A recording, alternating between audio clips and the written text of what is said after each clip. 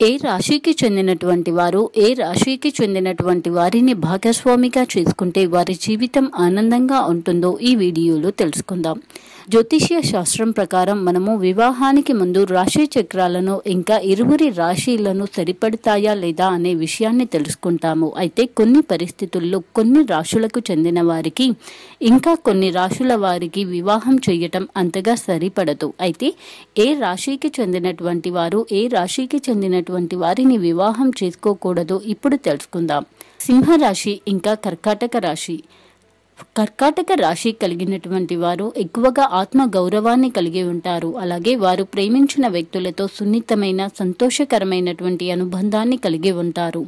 సింహ రాశికి చెందినటువంటి వారికి అభద్రతా భావం ఎక్కువగా ఉంటుంది. అలాగే వీరు ఎక్కువగా కూడా ప్రేమించిన వ్యక్తుల పట్ల కొన్ని విషయాల మీద కోపాన్ని ప్రదర్శిస్తూ ఉంటారు. కానీ వీరికి కర్కాటక రాశి వారు తేలికగా తీసుకోలేరు. తద్వారా ఇరువురి మధ్య గొడవలు వచ్చే అవకాశం ఉంది. అందుకే జ్యోతిష్య పండితులు ఎక్కువగా కూడా కర్కాటక ఇంకా సింహ రాశికి చెందినటువంటి వారు ఇద్దరిని వివాహం చేసుకోనివ్వరు. ఒకవేళ పెళ్ళి తప్పనిసరి అయితే జ్యోతిష్యులు సూచించిన ప్రకారం దైవక్రియలను చేయవలసి ఉంటుంది. మకర రాశి ఇంకా కుంభరాశి.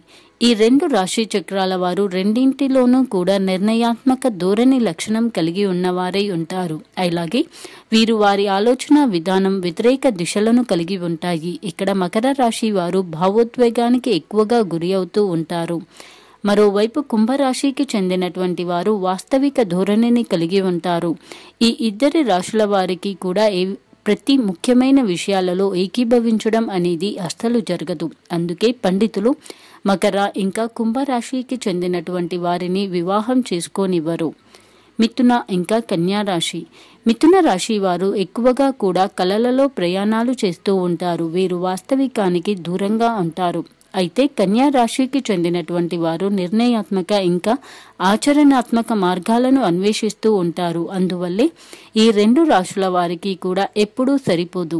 వీరిలో మొండి పట్టుదల ఇంకా అనవసరమైనటువంటి విషయాలలో వాదులాటలు ఎక్కువగా జరిగే అవకాశం ఉన్నందువల్ల జ్యోతిష్య శాస్త్రజ్ఞులు ఈ రెండు రాశుల వారికి వివాహం చేయడం మంచిది కాదు అని చెప్తూ ఉంటారు. మేషరాశి తులారాశి. మేషరాశి ఇంకా తులారాశి వారి యొక్క వ్యక్తిత్వాలు మొదట్లో ఇంచుమించు ఒకేలాగా ఉంటాయి. అయితే రాను రాను సంవత్సరాలు గడుస్తూ ఉంటే వీరి ఇరువురి మధ్య మొండి పట్టుదల ఇంకా సమతుల్యత లోపం ఏర్పడే అవకాశం ఉంటుంది. అందువల్ల వీరికి గొడవలు ఎక్కువగా జరిగే అవకాశం ఉంది. అది వీరి వివాహ సంబంధాలపై దెబ్బపడే అవకాశం ఉన్నందువల్ల మేషరాశి ఇంకా తులారాశికి చెందినటువంటి వారి ఇరువురిని వివాహం చేసుకోవటానికి పండితులు ఒప్పుకోరు.